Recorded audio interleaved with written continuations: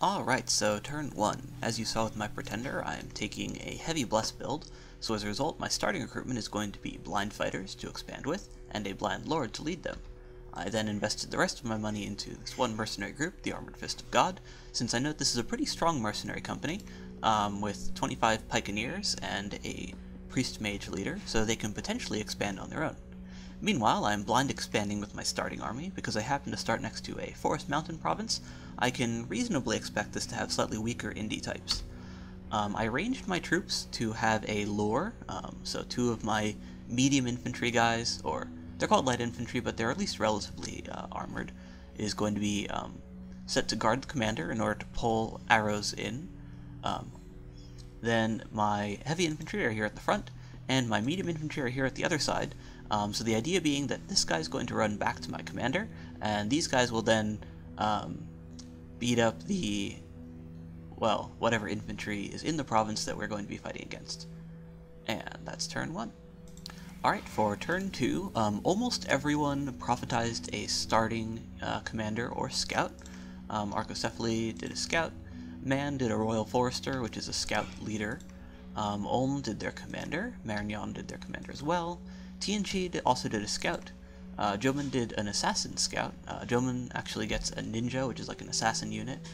Um, Agartha, that's me, I also prophetized my scout rather than my starting commander, and Gath prophetized their commander as well. Um, so here we had our first battle, um, and it looks like it's a fairly easy province. Yeah, so this is just uh, militia, a couple heavy infantry, but among the weaker kind of heavy infantry with only 11 protection, and then some archers. So, uh, this group here has drawn the enemy aggro.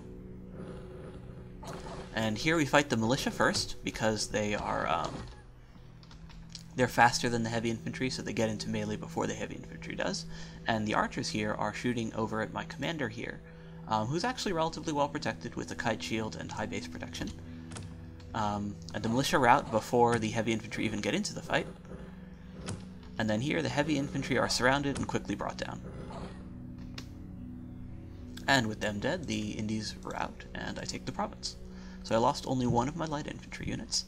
I succeeded in my bid for the mercenary group, and um, now that I've taken this province, I have a lot of resources, so I can afford um, to spend all of my holy points on blind fighters, and also start recruiting these Agarthan light crossbows. Uh, these are going to help out my expansion by providing some actual damage to go over the top of the blind fighters. Blind fighters are extremely well protected with 21 protection and a shield, um, and then they also have superhuman combat stats and slightly better than human HP. With my N9 Bless, they'll be recovering 2 HP per round. Their weakness is their high encumbrance, which my E-Bless should also help make up for. Um, their one downside is that they're magical beings, which means that they require a mage or a unit with magic leadership in order to lead them. Um, but luckily I've got my Blind Lord here, and Blind Lords are capable of leading up to 40 while still having good leadership, uh, and they're inspirational, which means that they provide a plus one morale bonus, um, even if they're limited to two squads before they take a morale penalty. Uh, while it's definitely possible to lead blind fighters with just regular mage units, uh, given that I'm taking a blessing plan on blessing up my troops anyways, it's helpful to use the blind lords for that. Um, so these provinces here look fairly difficult. This one here is just a lot of units, uh, some of which are crossbowmen, which are capable of dealing with heavy infantry quite well and this one has a large number of heavy cavalries and crossbows, so I'm going to need more guys in order to take on either one of these. Um, I'm going to use the Pikeneers, which I just recruited to take on this province. I have them set at the back, set to hold and attack, um, and the Inquisitor leader is going to just cast Sermon of Courage on them a couple times. So with that and their bonus morale, um, they start at a slightly above average base, are in friendly dominion, and have a slight experience and leadership bonus. Um, so they're going to be very unlikely to rout. By setting them to hold and attack, I'll be doing the same thing, hopefully, where the uh, militias are drawn in first and the heavy infantry follow up afterwards. Here, um, this province looks a little bit bigger than the one that I already took, and it also exposes a weakness in the formation that I tried to use, but I'm going to definitely still try for this province, since it is the same type as the one that I already defeated. I thought that I could take it on without changing anything, um, but we'll see what happens there. Alright, and this is turn 3. Um, so this first battle is my mercenary company expanding. And now these mercenaries, um, don't have quite as high protection um, as my regular troops, and they also, or as my uh, good regular troops, I should say, and they also don't have shields, so they're slightly more vulnerable to archery than my units typically are. Um, but they, this guy here is providing at least a little bit of fire support from his fireflies. I don't really have any research yet, but it's still better than nothing. Now, while they're not quite as good against archery, uh, once in melee, the pikes are actually very good defensively because they provide a repel bonus due to their length. Uh, you can see that here. Um,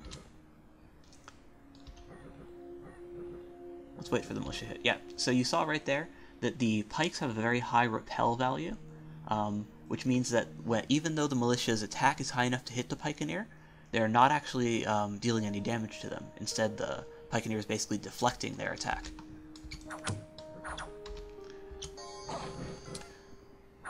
And um, they also deal decent damage. Uh, pikes have 5 bonus damage and it's piercing, so they can deal damage even to these armored heavy infantry here. So while it's not a flawless fight, the Pikeneers do uh, well enough. They are able to rout both the um, regular militia and the heavy infantry here. They do suffer some losses in the process, both from arrows, uh, heavy infantry hits, and a little bit of friendly fire, but I lose only two of them, so it's not bad at all, and I still have most of the squad to continue expanding. Here, however, um, well, I'll just show you what happened.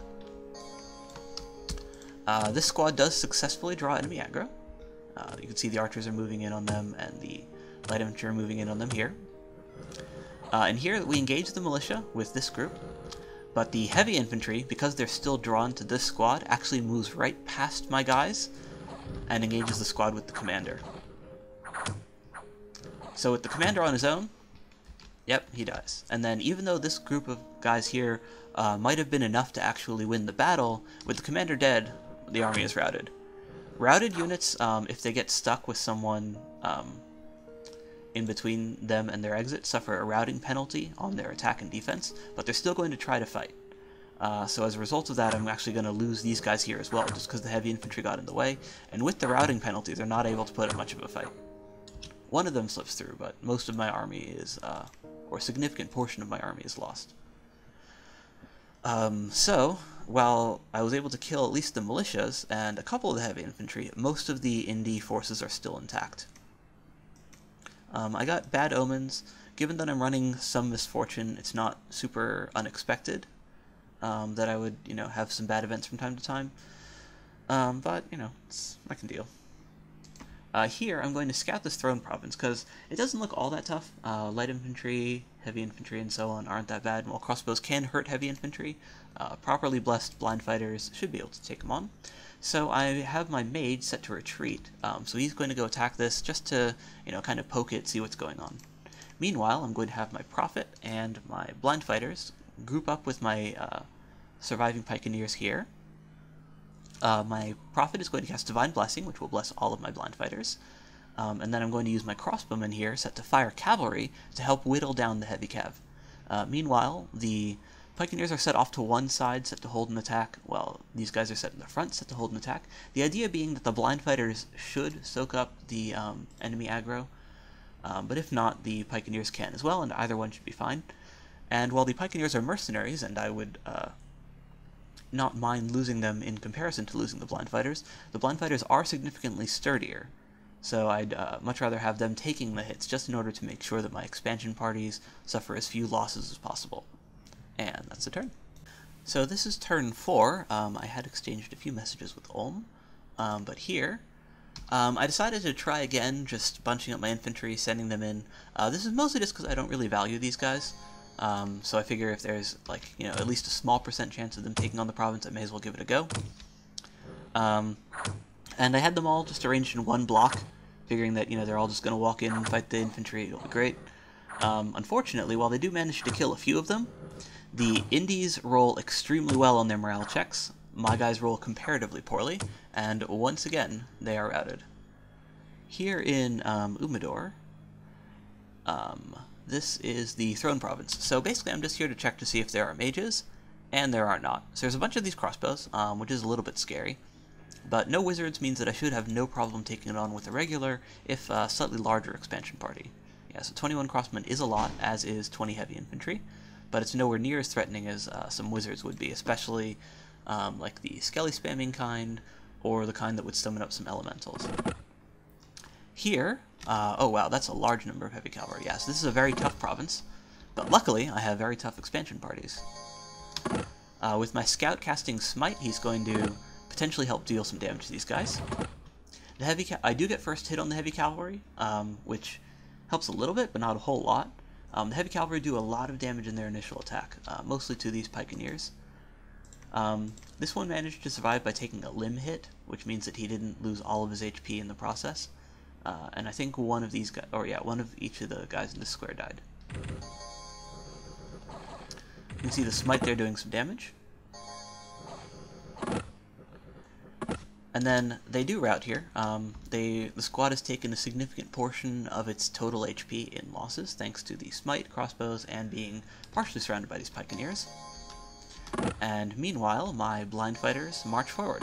Slowly, because they're very slow units, but they march forward all the same. Um, now that this squad has routed, they're no longer being targeted by my crossbows, who have now switched over to this crossbow squad.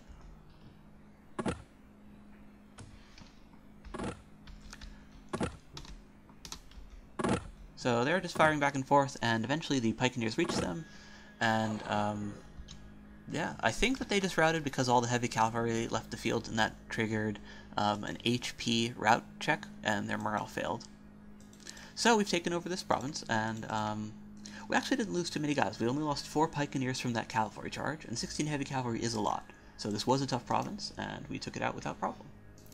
So here we have more heavy cavalry and crossbows. Um, but, as I mentioned, these uh, guys are incredible at surviving, so having them set to hold an attack at the front, they should be able to bear the brunt of the cavalry charge, and we already know that their positioning is correct to get the first hit on the heavy cavalry, as we saw. Meanwhile, these crossbows should help whittle down the heavy cavalry, and given that it's showing more crossbows than heavy cavalry, we should be okay. By um, having my guys set to hold an attack, and just being slow units in general, we should be able to draw the fight over to our side of the field, making our crossmen more accurate, while theirs are, more go are going to be more prone to friendly fire. Um, meanwhile, here, we are sending our second expansion party, uh, this Blind Lord and the additional crossbows, supported by these Pikeneers to take on the Throne Province. Um, I'm also bringing my Scout with here as well. He'll be able to both continue providing Divine Blessing and Smite support, and he'll also be able to claim the throne once we capture it. Uh, this uh, Alchemist uh, retreated into this province right here, and I set him to Site Search. Um, having my first made site searching is uh, pretty helpful. It'll help me get some early gem income going, and I'm definitely going to be able to spend all of my gems. Um, and then because he is a death random guy, he's actually searching for four different paths, which is pretty good. Uh, means I can cover a lot of different stuff. And then, what else? Um, oh, I rebid the Armored Fist of God. Um, since I already own them, my bid counts for double, so I'm able to buy them back more affordably, and I expect them to survive this throne fight with enough Pikeneers remaining to be worth purchasing, at least for 100 gold. And then I also bid up all the rest of my money on the Fishermen. So these guys are an amphibious group, and given that I'm bordering this province here, which has a huge number of income and is guarded only by Tritons, I figure I can try taking over the lake. Um, because there's no naturally amphibious nations in the game, um, I'm going to definitely try to get the most out of my out of these water provinces here.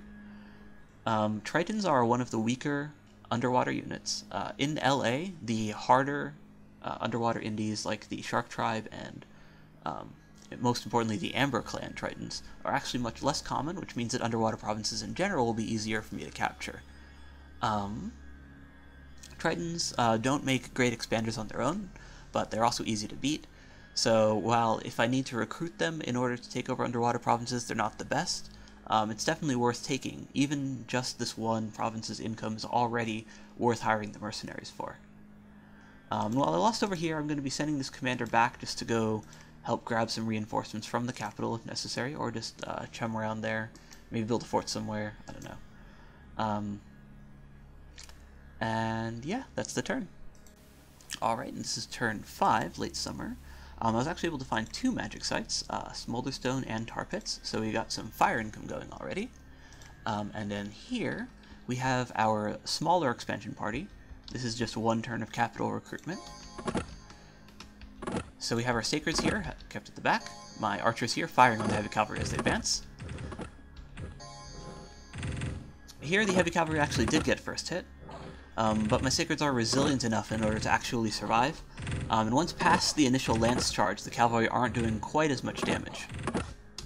The crossbows are still hurting, um, but they're hurting the enemy cavalry as well, and my guys are regenerating. So you can see here we've already got some afflictions going. So this guy's uh, crippled, so he's moving much more slowly. Um, let's see, these guys all look fine, yeah. And then my crossbows have already started to fire in on these guys. And once these guys get into melee, they're obviously much better than the crossbowmen. Uh, they're still, you know, able to deal some damage with their short swords here. And it looks like they actually even managed to bring one of the blind fighters down. But, eventually, they do wrap. So we did lose three of our blind fighters, and these are relatively expensive units, um, but it's definitely still worth it for taking on the province, and this is, once again, a hard province. Uh, with heavy cavalry and crossmen, many nations would actually try to avoid expanding into them if they could and just go around it. Um, but because our guys are very good at expanding, they're able to take it on without a problem. Here we have that throne province. We already knew what was on here exactly. But this one has no heavy cavalry, so while there are more units in total, uh, the units who are fighting aren't quite as dangerous. Uh, my thing of luring in the infantry in order to fight them one at a time didn't quite work out. Uh, these guys have javelins, they prefer to throw them rather than to run into melee. But these guys are taking crossbow fire the whole time, so they're being whittled down before they even get into the fight.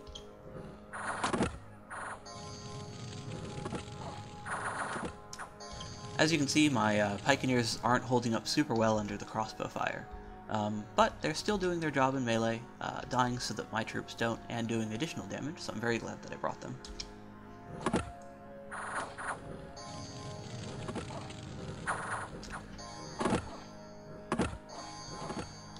And luckily, the Indies do rout.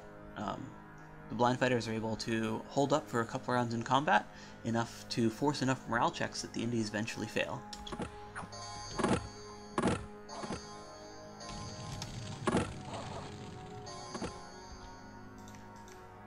So while the Pikeneers did rout, um, and you can see that here all 19 are gone, uh, as mercenaries you don't actually keep them if they run away. Um, the Inquisitor himself stuck around, and all of my troops remained. Uh, meanwhile, I was also able to win the bid for the fishermen here, and I'm going to have them go under underwater. Um, so I met Pythium. This is most likely the remains of his starting army, it looks like. Uh, Pythium is interesting in that they have foreign recruitment, so with the additional resource um, resources that the game settings provide, they should be able to expand very well, um, regardless of whether or not they uh, have taken a bless. Um, and yeah, so I sent him a message, talked shop, talked borders, and then this one uh, looks like just a heavy infantry and militia province, so very easy. So the survivors of this expansion party can take it. Um, and then this group here, I'm having this guy claim the throne. This is the Throne of the Stars, so it's going to provide me some nice astral income. Uh, so very helpful for when I get to the when I get to the point in the game where I have a chance to make astral boosters, golems, that sort of thing. It would be very nice to have. Um, meanwhile, this province here, those archers and heavy infantry, which have uh, twice repelled my expansion parties, uh, they definitely should not be able to do the same to these guys, because blind fighters are not simply Agarthan infantry. Uh, meanwhile, um, I've started to recruit these uh, Ktonian necromancers. So, these guys are my elite cap-only mages. Um, they provide deeper access to earth and death magic than I would get otherwise. So a D3 with um, a Skull Staff can cast Darkness, one of the big battlefield spells that Agarthans love because of our uh, Dark Vision. Uh, the Earth 3 guys with boots have E4, which enables them to Earth power up to E5, and that enables stuff like um, uh, Army of Gold or Lead in the very late portions of the game, and E4 if I'm able to, or if I want to burn 4 Earth Gems, I can also cast Earthquake to do some battlefield-wide damage. Um, generally I wouldn't want to cast that unless I also have a means of protecting my own troops, because these mages are quite expensive. Um, but once blessed up, that actually does provide them with enough HP and protection to have a reasonable chance of surviving an earthquake. Um, and then, of course, they're, because they have that fire random, they're able to fire off Bane Fire, which none of my other units can. Um, and they're able to do Magma Eruption and similar strong evocation. So big mages, I like having these guys, and they can also site search. The Astro Random guys are going to be useful for magic phase movement once I give them two boosters. Um, forwarding Astro boosters like Crystal Coins or Starshine Skullcaps once they have one Astro booster of their own. Um, and then, of course, just site searching Astral. Uh, meanwhile, because I am gold capped rather than resource capped, I'm buying one of these Agarthan crossbowmen here. They have the exact same gold price as the light crossbowmen, they just require a couple extra resources and they give me some more protection. And then um, I'm buying a full stack of sacreds again. Uh, so this group here, this blind fighter with these crossbowmen, is going to start expanding up over into this direction. Um, these guys are going to expand over down this way, so I'm basically I'm going to expand as far west as I can go without ca causing any trouble with Pythium. And that's the turn.